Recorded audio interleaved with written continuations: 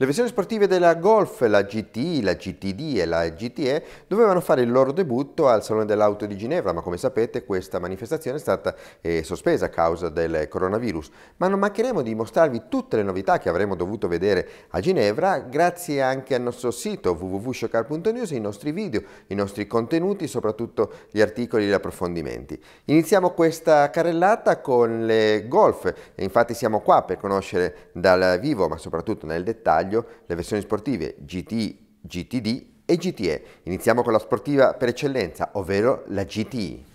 La Golf GTI giunge alla sua ottava generazione, proseguendo una storia che dura da ben 44 anni.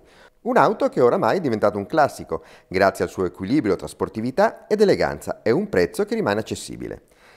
Il pacchetto stilistico mantiene i dettagli storici della Golf GTI, ovvero i paraurti sportivi, i diffusori posteriori con due scarichi cromati ai lati e la sottile linea rossa che prosegue dai fanali alla calandra. Inedita anche la firma luminosa che si estende fino al logo centrale. La griglia, con le trama nido d'ape e i cerchi di maggiori dimensioni, si parte da 18 pollici, sono le novità che troviamo su Golf GT, ma anche sulle sorelle GTD e GTE, con i fendi nebbia che sono a 5 punti luce, già visti su altre vetture. All'interno non mancano i rivestimenti in tessuto scozzese di serie, oltre a una personalizzazione che interessa aspetti secondari come ad esempio l'illuminazione interna LED e la grafica della strumentazione digitale Digital Cockpit, con una sezione esclusiva con il contagiri al centro, nonché del sistema di infotainment con schermo touch al centro della plancia.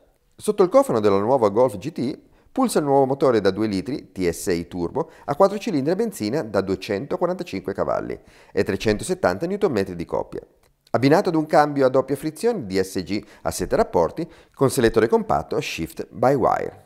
Il pacchetto estetico della Golf GT viene ripreso quasi totalmente nella versione a gasolio Golf GTD.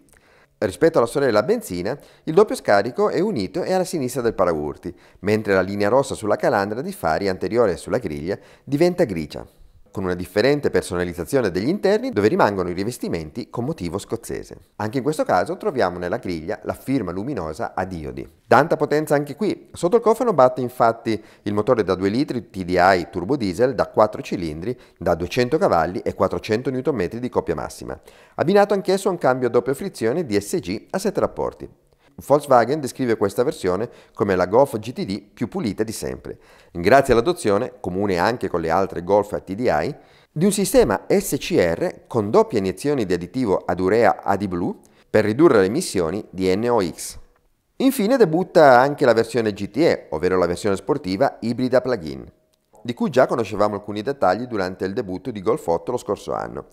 L'assetto in questo caso è quello delle Golf tradizionali, mentre il pacchetto estetico viene ricalcato dalle sorelle GT e GTD.